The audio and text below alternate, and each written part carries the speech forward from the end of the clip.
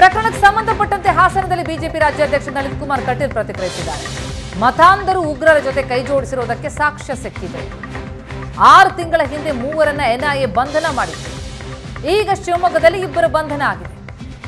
ರಾಜ್ಯದಲ್ಲಿ ಗೊಂದಲ ಸೃಷ್ಟಿಸೋ ಯತ್ನ ನಡೆದಿದೆ ಅಂತ ಕಟೀಲ್ ಪ್ರತಿಕ್ರಿಯಿಸಿದ್ದಾರೆ.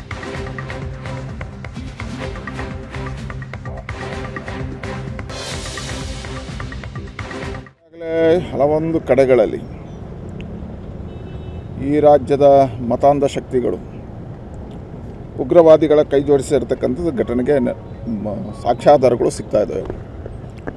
ಉದಾಹರಣೆಗೆ ಹಿಂದೆ ಬಡ್ಕಳ ಬ್ರದರ್ಸ್ ಅವ್ರ ಘಟನೆಗಳು ಗೊತ್ತಿದೆ, ನಿಮಗೆ ಯಾಸಿನ್ ಬಡ್ಕಳ ಇರ್ಬೋದು, ಬಾಕಿ ಉಳಿದವ್ರು. ಬಂಧನ ಆಗಿದೆ. ಅದರ ಜೊತೆ ಜೊತೆಯಲ್ಲಿ ಮಂಗಳೂರಲ್ಲಿ ಎನ್ ಐ ಎ ಮೂರು ಜನರನ್ನು ಒಂದು ಆರು ತಿಂಗಳ ಹಿಂದೆ ಬಂಧನ ಮಾಡಿತ್ತು. ಇವತ್ತು ಶಿವಮೊಗ್ಗದಲ್ಲಿ ತೀರ್ಥಹಳ್ಳಿ, ಮಂಗಳೂರಲ್ಲಿ ಮತ್ತೆ ಮೂರು ಜನರನ್ನು, ಎರಡು ಜನರನ್ನು ಬಂಧನ ಆಗಿದೆ. ಹೇಳಿದ್ರೆ ಇವತ್ತು ಮತಾಂಧ ಶಕ್ತಿಗಳು ಉಗ್ರವಾದರ ಜೊತೆ ಕೈ ಜೋಡಿಸ್ಕೊಂಡು ಈ ರಾಜ್ಯದಲ್ಲಿ ಮತ್ತು ದೇಶದಲ್ಲಿ ಗೊಂದಲಗಳನ್ನು ಸೃಷ್ಟಿ ಮಾಡಬೇಕು ಅನ್ನತಕ್ಕಂಥದ್ದು ಕಂಡಿದೆ.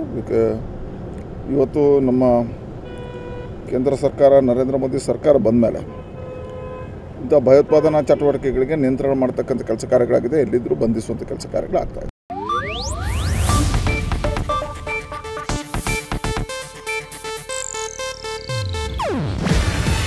ಇದೆ ಏಷ್ಯಾನೆಟ್ ನ್ಯೂಸ್ ನೆಟ್ವರ್ಕ್ ಪ್ರಸ್ತುತಿ.